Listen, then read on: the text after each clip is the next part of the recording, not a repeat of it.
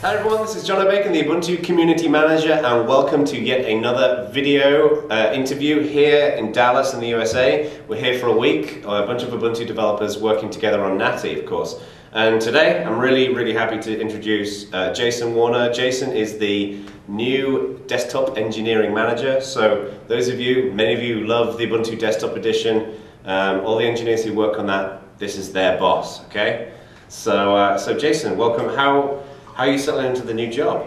Oh, pretty good. I mean, I've been here just under three months at this point. It's a kind of in a whirlwind, drink from the fire hose, all those things you might say. But uh, it's been great. You know, it's a, quite an experience. Well, you you you you took over from Rick Spencer, who is now the the legendary Rick Spencer. Yeah, yeah. There's three of my boss. Um, I need to put. He is legendary. He's such a nice guy.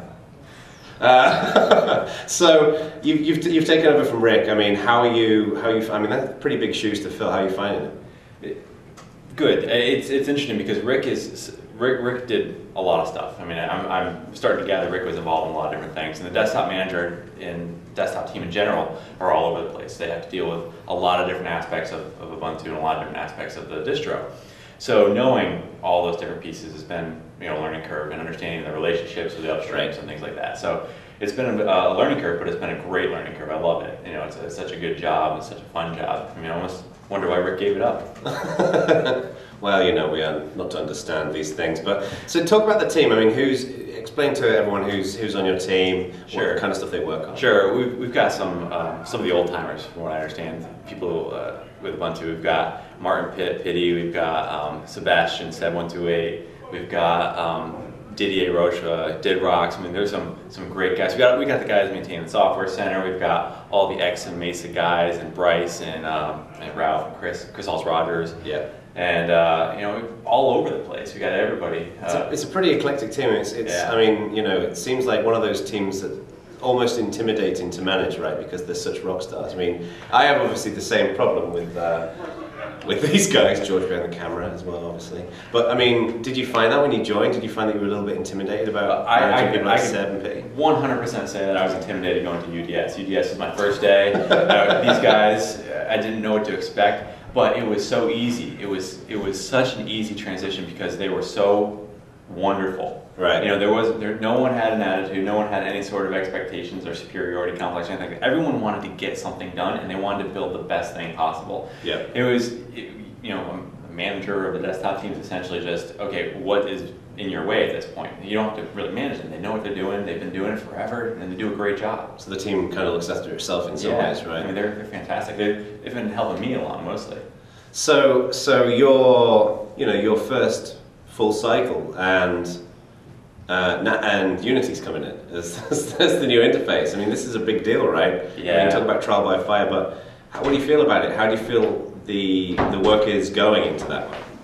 I think the work's progressing great. I think we're where we are in the cycle is good. I mean, this rally came at a perfect time because everything was coming together. We needed to get a couple of things done, and this is a perfect week to get these things done. But Unity itself is is at a point where I think there's probably not a person at the rally who's not using it on a daily basis. Mm. You know, every, maybe maybe an update or two will break X, Y, or Z, but at the same point, you know, it's usable as an everyday desktop at this point, which is fantastic. So there's been a, there's a lot of work going into it on the on things like um, obviously it's been ported to Compiz. Um, there's accessibility work going into yeah. it, making sure that it's um, integrating nicely with you know with, with GDM and, and that the classic session is loaded when 3D support isn't there.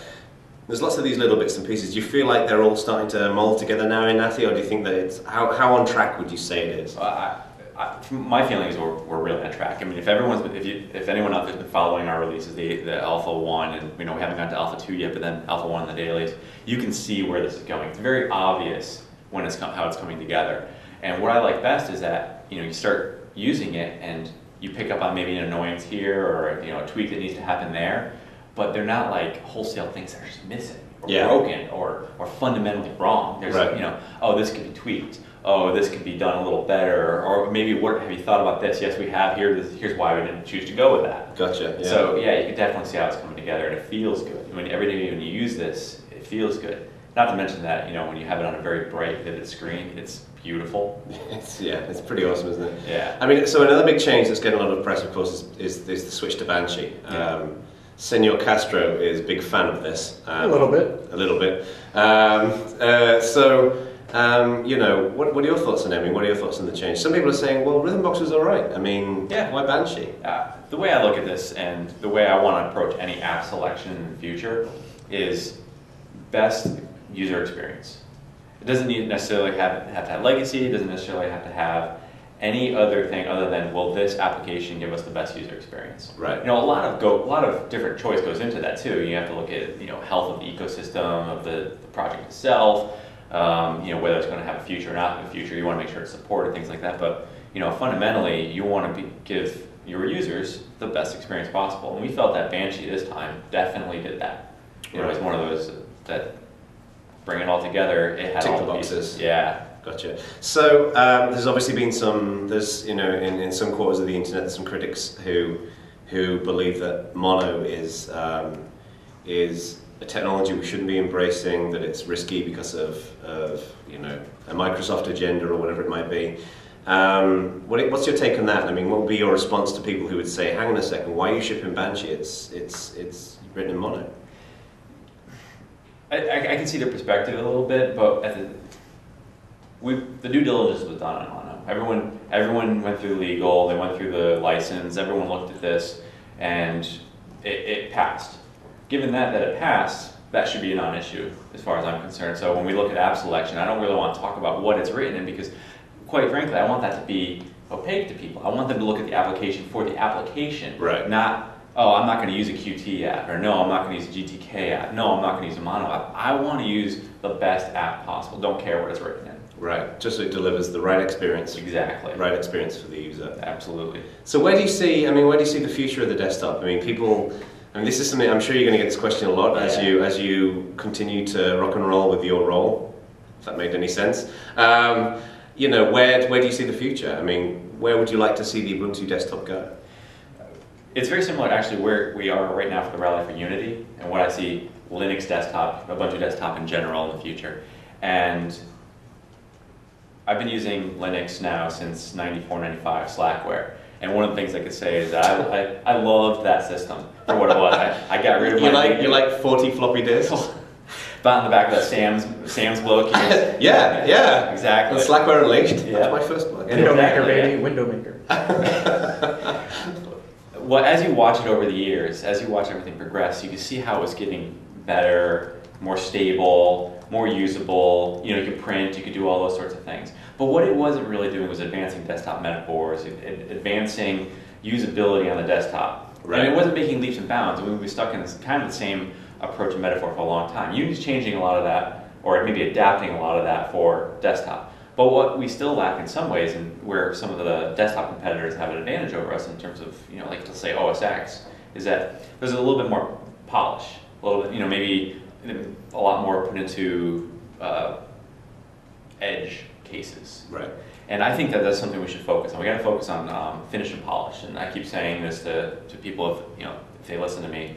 Yeah, but I would I just want to make sure that little things are taken care of. Consistencies in the UI, cons- you know, making sure things look the same across machines or themes, or making sure button placements are kind of consistent. Making sure that if, if you pull up a menu in this application, it looks similar to the menu in this application, and things like that. Right. Now, obviously, that's a long-term type of approach, and it's a it, there's no real specifics involved in that, but it's more of a framework for, for decision making. Right. Gotcha. And then, you know, taking a similar approach with application selection, things like that. So speaking of applications, um, how much do you interact with you know people like Shotwell and and the GStreamer people and uh, the Firefox people? I mean, the Well- folks from upstreams and things like that. Yeah, the desktop team is involved and discuss eh, involved in discussions with those guys all the time. I myself have not been too involved, and that's something I'm hoping to fix. End of the cycle, going forward to the next UDS and next cycle. But uh, the involvement has been great. Those those projects have been super, and that's one of the best things that I've seen about coming on as a desktop manager is seeing the interaction with upstreams and people who really truly care about the distributions, uh, the distros and distributions and things like that, just for the, the sake that they want to make something great. Yeah. You know, it's you, you you want all the errors are gone, all pretension is gone. Hey, what do we do? How do we make this better? It's, yeah, it's cool seeing, you know, like for example, the Shotwell folks at UDS and you know a bunch of a, bunch, a bunch of different upstream Yeah, folks come to UDS and seeing them get excited about uh, uh, as excited about Ubuntu as we are excited about their application, Yeah, exactly. um, and seeing that kind of relationship flesh out. Yeah. So um, I think we're going to wrap it up there. Thanks, thanks, Jason, for joining us, Thanks, and Jono. keep rocking and rolling. And uh, we'll be back with more interviews this week. Stay tuned.